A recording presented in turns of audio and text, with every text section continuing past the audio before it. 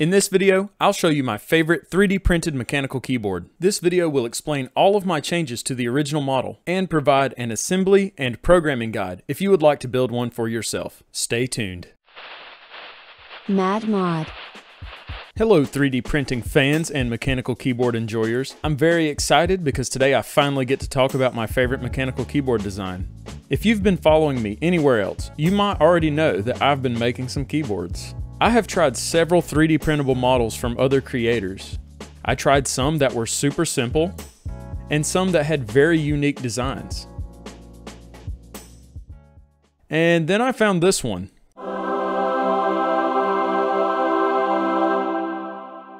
This 3D printed beauty was created by Thingiverse user Fumbucker and posted to the site in 2018. This keyboard features a layout that's based on the Clueboard 66% and the Leopold FC660M. After printing one out, I was immediately impressed with how easy everything went together. All the parts are small enough to easily fit within the print volume of most 3D printers. The case is mechanically held together with bolts, so you don't need to mess around with gluing or plastic welding. And once assembled, it feels surprisingly sturdy and rigid. Naturally, there's some aspects of this design that I wanted to modify. Here is my first revision. I've modded the plate and the top bezel to add two more keys. After assembling this one, I realized how unusual it is to find keycap sets with two 2.25 unit shift keys. I also wanted to remove this blank area and use a different set of tactile switches. In the second revision, I designed a completely new plate with a 5mm thickness and a condensed layout. This made it much easier to find good looking keycap sets. In this model, I used a set of YOK Trash Panda switches and some GMK Black Lotus keycaps. I still use this keyboard every day because I like the layout. It has everything I need and nothing I don't. This brings me to the most recent revision. This keyboard is exactly the same as the previous one, but I've modified the USB breakout mount to fit a readily available USB Type-C breakout board. This particular keyboard has Holy Panda switches. I have posted this revised model on my Cults 3D page. Feel free to download it and build one for yourself. There's a link in the description below. Let's take a look at what you would need to build one of these keyboards.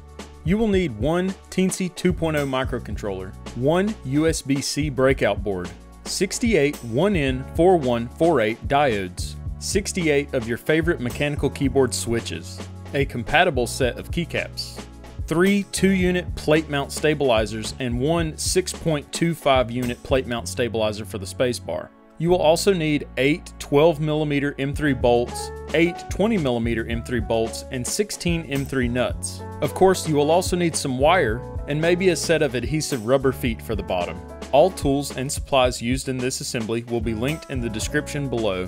The keyboard featured in this video was printed in silk PLA with a layer height of 0.2 millimeters. The backside of the keyboard prints out in three separate pieces. The plate prints out in two pieces that lock together.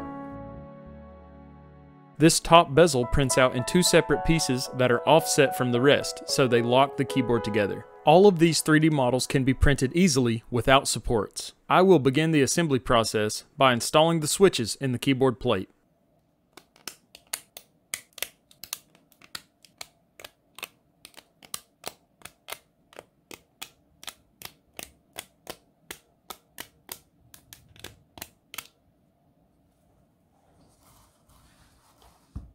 Halfway there.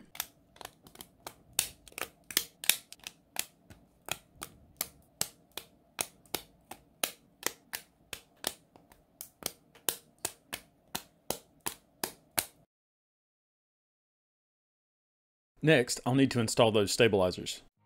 I got a little bit ahead of myself, snapping all those switches into place, so I'm going to remove the switches for the keys that require a stabilizer. These are your typical cherry compatible plate mount stabilizers.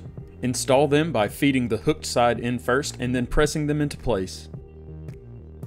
The stabilizer bar rests in this cutout area on the back side of the plate. Stabilizers must also be installed for the backspace, enter, and left shift keys. With all that out of the way, it's time to start wiring the switch matrix. I will be bending the diode lead into a little loop so that it stays in place while I'm soldering. In this configuration, the striped side of the diode should always be facing away from the switches. The wiring process is easily the most time consuming part of this project. I like to tackle this one row at a time. In this example, I will be connecting a diode to each switch in the first row. Then I'll give you a close-up of how I create the rows for this matrix. After zooming in, you can get a good look at how each diode is attached. I'm going to connect these together by bending the bottom lead to a right angle and soldering to the next diode in the row. This process is then repeated for every diode in the row.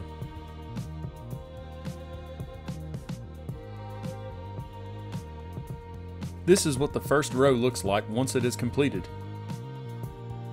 Since this is one of the more time consuming portions of this project, I will not be showing the creation of every row in this video. The wiring of this matrix was completed live on stream. If you are interested in seeing the entire process, go check out my Twitch channel at twitch.tv slash m0dulus. That's twitch.tv slash modulus. Building a hand-wired keyboard requires a lot of soldering. If you are looking for a project to practice your soldering skills, I would definitely recommend giving this a try. If you are already experienced with a soldering iron, you may want to put on some music to pass the time.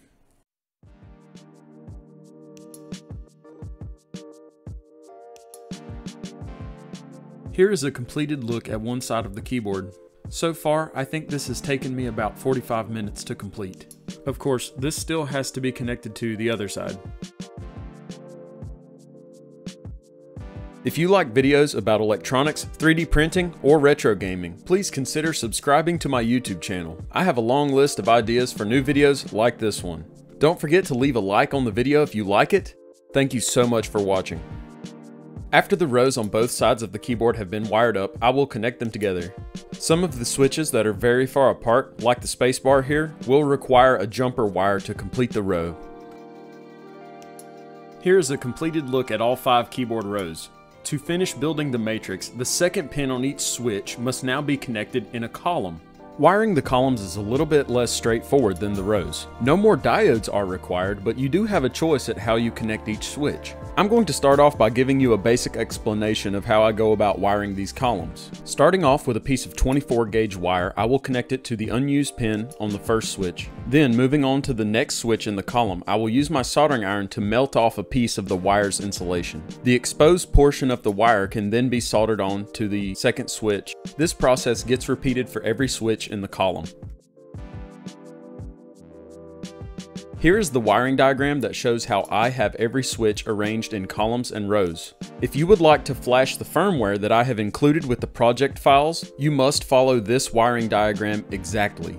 I will be including a brief explanation on how you can go about creating a very basic keyboard firmware. Here is a close-up look at the creation of the second column. I will continue to use different colored wires on each column. This makes for a much easier time when it's time to install and program the microcontroller. Wiring all 15 columns takes about as long as it took to assemble all 5 rows. I will be showing a time lapse of this process to keep the video at a watchable length. If you would like to see the columns wired at a normal pace, that video is also available on my Twitch channel.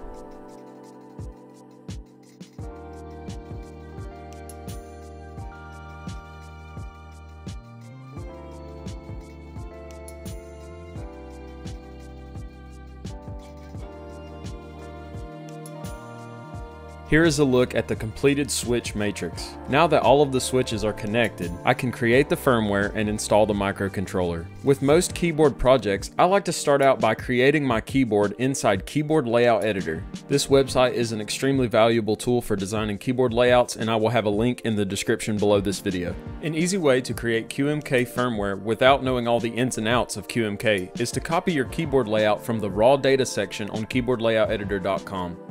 This data can be pasted into a keyboard firmware generator like the one available at kbfirmware.com. Just a little disclaimer, this solution is technically outdated and not really supported anymore, but it is a very easy way you can get started making custom keyboard firmware.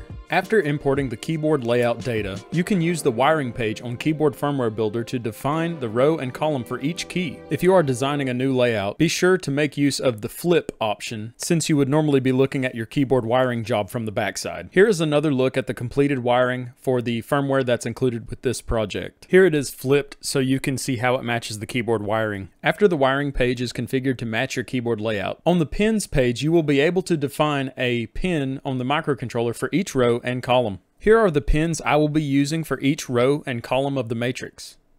Be sure to reference this image if you are following along with my design at home. Let's go ahead and connect the Teensy while this page is still pulled up.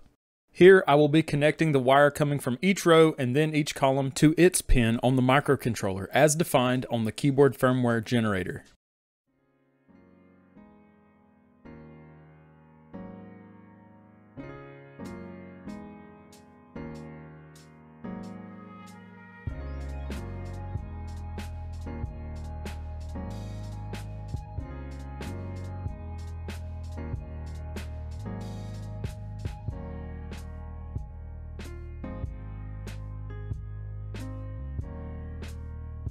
I will be holding the Teensy in place with a piece of double-sided tape.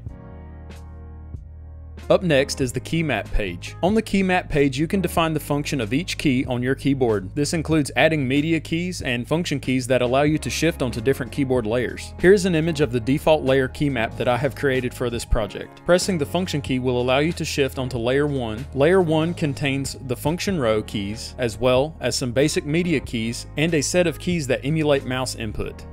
For this basic layout, I will not be recording any macros or using any quantum functions. If you are creating your own firmware, in the settings page, be sure to give it a unique name and select the correct bootloader size for your microcontroller. Next, we can move on over to the Compile tab and select download.hex. After downloading, it's time to plug in the Teensy and flash the new firmware. To flash this microcontroller, you must have the Arduino IDE installed and the Teensy software add-on. I will have a link to this in the description of this video. With the Teensy plugged in, open up the Arduino IDE and make sure you have the correct board and port selected. These options are found in the Tools menu. Next, open up an example project by navigating to File, Examples, Basics, Blink. Click the Upload button to begin programming the Teensy. The Teensy programming software will open automatically. From this interface, click the Open Hex File button and navigate to the file that was downloaded from the keyboard firmware generator. After selecting your firmware.hex file, press the Program button on the Teensy microcontroller. This will reboot the Teensy into program mode and automatically flash the firmware file. Once flashing has completed, your keyboard should now be functional. I recommend heading over to keyboardtester.com here, you can set your monophonic sound experience to Josh and make sure that every key is functioning as expected. Josh. Josh. Josh. Josh. Josh. Josh. Josh. Josh. Josh. Josh. Josh. Josh. Josh. Josh. Josh.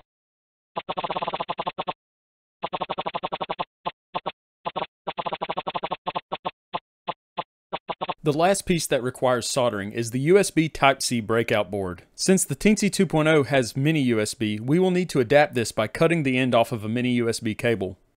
The black wire must be soldered to the ground pin. The red wire must be soldered to the VCC pin. The green wire must be soldered to the Data Plus pin, and the white wire must be soldered to the Data Minus pin. I'm going to use a drop of superglue to hold the USB breakout board in place.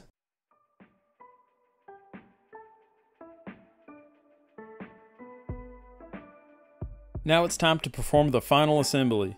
Thankfully, this is probably the easiest part of the entire project. To assemble this keyboard, just sandwich the plate between the top bezel and the back part of the case. Insert a bolt through the top side of the case and feed a nut into the hexagonal hole on the bottom side of the case.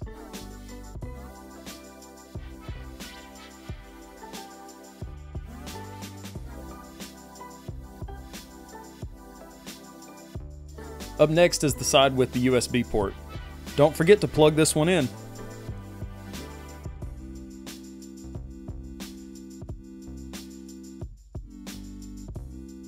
Installing the middle piece will hold both sides of the keyboard together.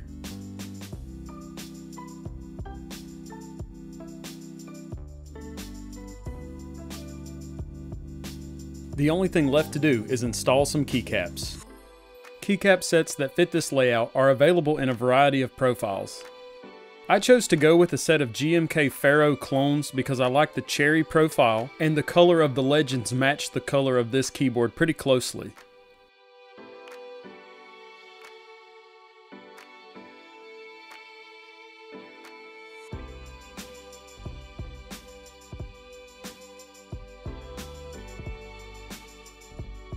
Here is a look at the finished product. So far, every 3D printed keyboard I have made has a unique sound profile and typing experience. With 3D printing, customization options extend far beyond swapping switches and keycaps. What are some of your thoughts on 3D printed keyboards? Have you ever built a hand-wired keyboard? What unusual layout would be easier to 3D print than order a PCB? This will not be my last custom keyboard, so if you have any ideas, be sure to leave a comment below this video. While you're at it, don't forget to subscribe to the YouTube channel and go follow me on Twitch. Thank you so much for watching this video, and I will see you in the next one.